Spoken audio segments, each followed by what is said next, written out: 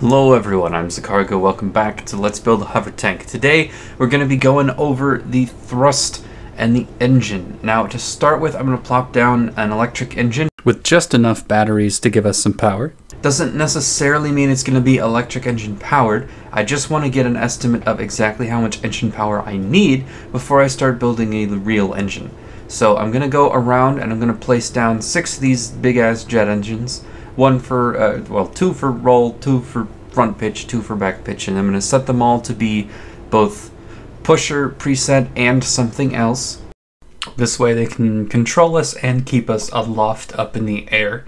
Uh, and then we're going to fiddle around and just see just how much power we're using. Now, these are not tuned at all yet. These are quite literally just set to do basic pitch and roll.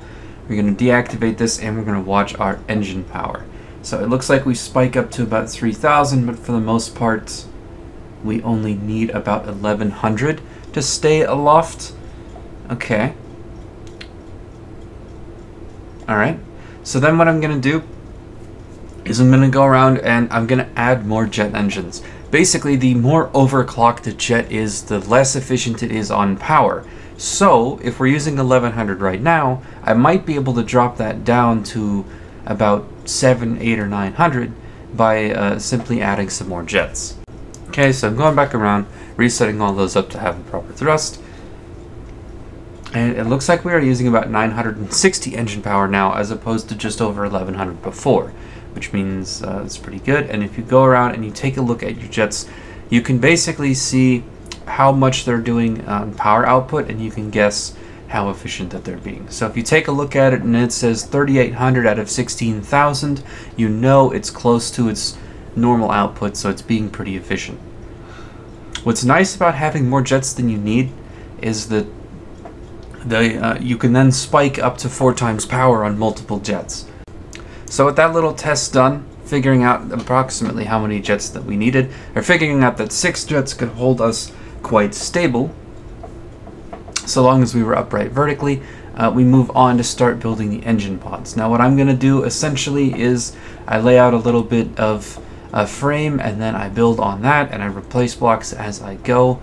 Uh, and then it's not until I have both engine pods completed that I actually save them as uh, prefabs and then put them onto spin blocks.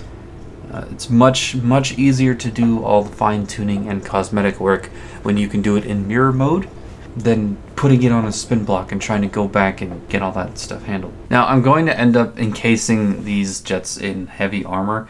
Um, I'm using a lot of heavy armor on this craft and I'm not actually a really big fan. I think I used way too much, but I was just sitting here thinking, you know, I want this to be durable, so what can I do here to make it more durable? And my answer uh, when I was building this was uh, let's just add some more heavy armor. Why not? And uh, uh yeah, I don't think that was the right answer. But I uh, I'm gonna wait to test it because I can always go back and um, use the armor editor to just replace it all with like metal and then see how that does. So yeah, uh, I'm trying to stick with my one layer of heavy armor, one layer of applique armor scheme. This isn't something I've tried before. I've used applique before, uh, quite a bit because I really like using it, but I haven't tried using just a, a harder underlayer of heavy armor with the applique, so this is a bit of an experiment in this armor scheme for me. And uh, speaking of experiments, this is also a bit of an experiment using this sort of jet setup, using sort of a tripod um, sort of, uh, of deal here. So on the back, I think I'm going to have one set of thrusters that twists left and right um, to help with some pitch, not pitch, to help with some roll control, basically. So it should be able to bank pretty hard, and this should be able to keep it stable. Must also uh, got a lot of pitch control on this back end, so hopefully it should be able to do some pretty intense maneuvers now, I haven't actually done this before. I can't think of a reason why it shouldn't work, but that doesn't mean I've done it right on the first try. Uh, and sometimes things don't work because you do them wrong. So we're going to have to see how this one turns out. It seems to be going pretty well. Let's take off these bottom thrusters and uh, yeah. Alright, so now that I know that I have the appropriate amount of thrust, I'm not happy with how the engine pods look just yet, and I'm going to need to move them anyway so that I can place a spin block down on, uh, on a mount. So, what we're going to do is we're going to prefab the right hand side, move it down, go prefab the left hand side, move it down, and then we're going to edit these in mirror mode while they're down here. And then once we're happy with how they've turned out, uh, we can put the spin blocks down and get these bad boys mounted. Alright, so I want to cut ahead to a more finished design. I think these look really ugly on their own, but I think they should look a lot better um, when paired with how the rest of the craft is going to look. We'll see. Alright, so here we are. We've just captured the left engine pod as a uh, as a prefab, and then we're going to place it onto this spin block that I put down. Now I put the spin block at a little bit of an angle because I essentially want this craft to be pitching forward at all times. So I want the spin I want the spin block to be facing roughly down so that the thing can hover in place. It's going to have to be at enough of an angle so that it doesn't constantly move forward because the back one is not going to be pitched as well. So uh, yeah. This is going to involve some tuning. When it comes to dealing with spin blocks and the like as thrust or controls, it really involves a lot of tuning. You can't be afraid to go back and say, hey, uh, maybe it should be a one degree more or something like that. It, it really can make a huge difference to just have it set up by, by the right couple of degrees. So, yeah. Left engine pod mounted. Gonna go capture the right one. Nice thing about having the left engine pod mounted is that I can uh, essentially line it up with the left engine pod, and it's a lot easier to place than the first. Out with the old and in with the new, baby. Okay, we've tested it, and it flies. So I will go back and show you exactly what these end up being set to. Uh, for the time being, we're going to jump around to some different things that I do. One of the things to note is that I want this thing to stay at like a perpetual forward angle of like 3, 4, or 5 degrees, somewhere in there. So I'm going to go over here and set up an ACB to make sure that it's constantly um, you can't you can't change the default angle on a spin block as far as I'm aware. So I have to set this ACB to constantly bring it back to that angle so that it will rest here when it's not receiving any other commands. Now, if you're familiar with automated control blocks, you might be saying, okay, why are you leaving in all of this recorded at default speed? And the answer is, when I was new to this game, I was very intimidated by automated control blocks. I was very intimidated by PIDs, AIs, all of the just UI intensive things. So if you've stayed away from ACBs and you stayed away from spin blocks because you just don't know how to do it, I'm hoping it's useful to just see someone fiddling around with the things and getting an idea of what it actually means to tune a spin block. And when I say tuning, I mean sitting here taking a guess at what you think it should be and then finding out how wrong you are and then coming back and fixing it about 27 times in a row.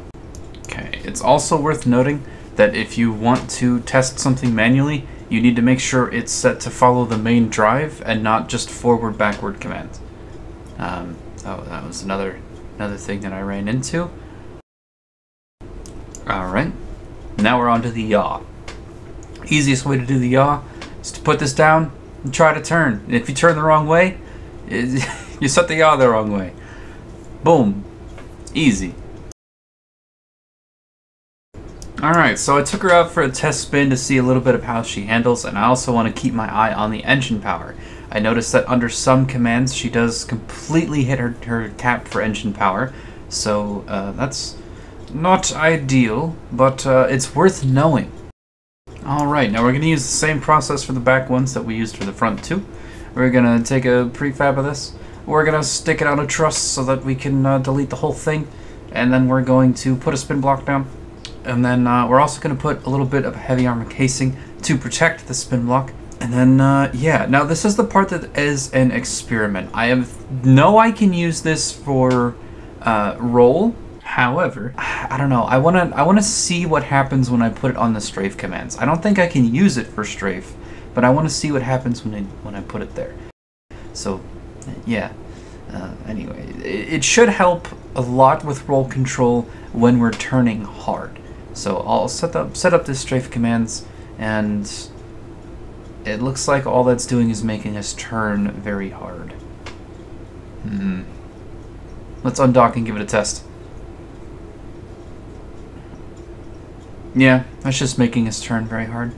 Okay, well, we can still use it to help us turn. In fact, we could take turning off of the front. No, I don't like that. I don't like taking turning off the front. I'm honestly, I'm not sure that this back one needs to be on a pod.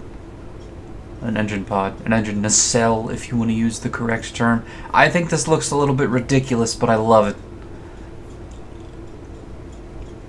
I don't know. Let's see. Let's take it out for spin. It is correcting our roll.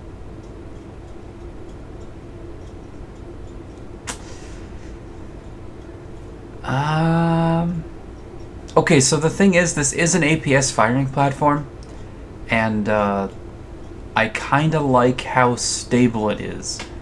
It might be hard to see, but this, but I can see this thing making minute adjustments all the time um, to help out with the roll. So I think, I think I might actually keep this. One thing I'm definitely not going to keep, however, is this armor scheme here. These things are facing way too far down for that to be a protective layer. I was thinking that the front would be a little bit more exposed, but nah. So I'm going to replace this middle section with uh, three beams of heavy armor. And uh, yeah, I'll be right back.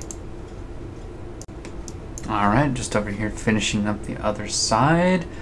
And do that, that, and that and that, and that. Alright. Oh, yeah. Yeah, that looks much better, but I did forget one metal beam over on this side. There we go. Now, I did notice after placing those engine pods that these uh, missile launchers are they're massive and they're really far forward, so we're gonna move them back a little bit. So yeah, all I really do here is the same thing I did. Uh, prefab them, move them somewhere else, delete the old ones, and then just uh, play around with this a little bit to see where I think they would look right. Alright, so now we get into the tuning of the AI of the thing. Now, for a hover tank, you've got a lot of options when it comes to AI. You can use broadside 1.0, 2.0, circle. Uh, you can use point at and maintain distance. You can even use airplane 2.0, but I don't. Um, you can classify this as a ship or a tank. You can classify it as a hover vehicle. All things considered, this craft can control like a whole bunch of different things. So setting it up to correctly function with an AI is kind of up to you. You can kind of pick whichever one catches your fancy and run with that. For this one, I'm going to stick with uh, point at and maintain distance. Uh, we're using an APS with HESH shells, so all we really need is to keep firing at it whilst within range for our missiles. Uh, we could also use circle. However, our front side is far more armored than our sides, so point at maintain distance is probably going to be the best for this. And we're going to end up having the AI PIDs control the pitch, so make sure that this is on. If you want to control pitch manually using non-AI PIDs, the standard ones, make sure that this is turned off, otherwise your craft will be fighting and it'll just be dumb. Alright, so I immediately got shot off of the first test. We're back at the second test, watching how this thing do. Uh, it's controlling its yaw a lot. It's not shooting itself, which is always a plus. The missiles are very, very powerful, and I noticed that I took some hits directly to my right engine nacelle there, and that we are still uh, intact. I'm also noticing that whenever it backs up, it's backing up pretty hard and exposing its jet engines. Also, throughout this fight, I saw a lot of applique get knocked off, and the heavy armor and components underneath were fine. And it looks like that. Oh my! Oh my God! That second volley of missiles killed it. Wonderful. All right. All right. I'm gonna keep going with some more tests here on my end, just seeing if the AI and weapons work correctly. Uh, other than that, I've been Zicargo. This has been fun, and keep your eye out for the next installment of Let's Build a Hover Tank. I'll see you next time.